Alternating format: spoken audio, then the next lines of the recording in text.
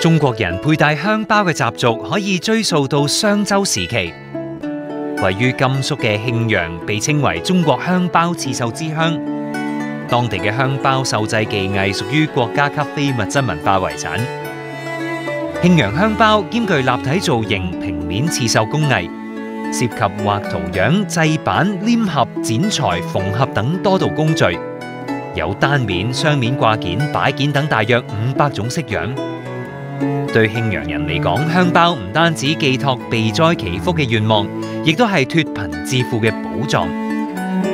传承人刘兰芳二零一九年培训超过二千一百个绣娘，唔少贫困家庭因此受到帮助。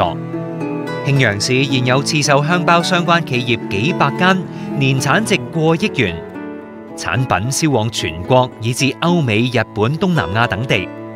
喺二零二零年初，新冠疫情爆发，庆阳抗疫香包更加成为其中一项抗疫物资。一针一线，绣出中华民族千年历史，更加绣出传统文化嘅感受未来。